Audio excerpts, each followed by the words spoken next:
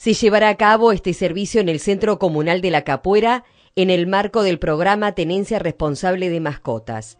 La Intendencia de Maldonado continúa con su recorrido por los distintos puntos del departamento con el fin de proporcionar el servicio. El miércoles 30 será el turno de la capuera. Se aclara a los usuarios que el servicio se realizará con régimen gratuito y que las operaciones se harán por orden de llegada en el correr de toda la mañana de la jornada.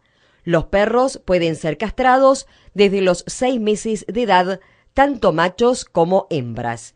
En materia de requisitos, se debe tener en cuenta que las mascotas necesitan 12 horas de ayuno.